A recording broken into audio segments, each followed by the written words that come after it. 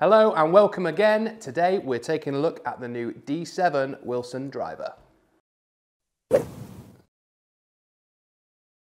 Hello, Ryan Rastall here again for golfshake.com and today, as I've said, we're taking a look at Wilson's D7 driver, just come out on the market.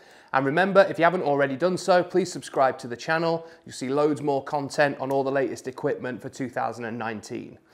So let's take a look at D7. Now, what, what's it all about? So a few technological changes. One being um, really lightweight. This driver is as lightweight as I've ever swung and hit, I think. It's really lightweight shaft. The head is really light too. So all those people out there who are looking for a bit more club head speed, maybe have lost it over the past few years, this is a driver you should really consider.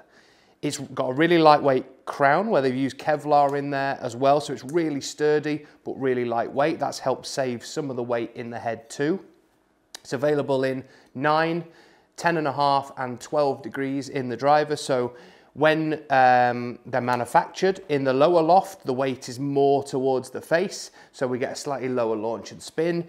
It's kind of mid position in the 10 and a half head. And when we get to the higher loft, it's right at the back there. So it helps to launch high and also maintain the spin.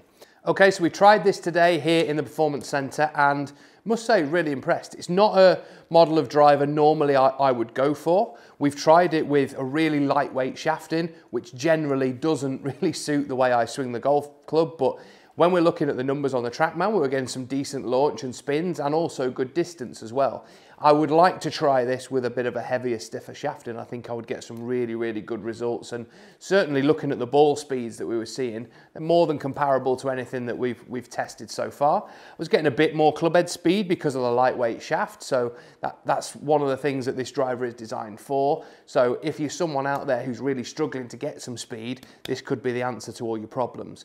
So the other really great thing about this is the price. Now, we've seen all the drivers out there this year, they're getting towards the 450, 500 pound mark. D7 comes in at about 250 pounds. So um, slightly less adjustable than some, but performance wise, when we're looking at it on the TrackMan, is there that much of a difference? Well, not that I've seen anyway, but I would always recommend everyone go and get custom fitted properly, make sure that you're getting the right shaft and loft combination for you and really get it dialed in so that you're hitting uh, the distances that you'd expect and, and also really maximize the distance that you can get out of the driver. So there we have it, that's the Wilson D7 driver. If you like the video, give us a big thumbs up. If you are someone who's gonna try this, let us know. Let us know what you think if you've already hit it as well, because um, we all love to get the feedback. If you want any info on custom fitting or any more information on clubs in general, please leave us a comment below and we'll see you very, very soon.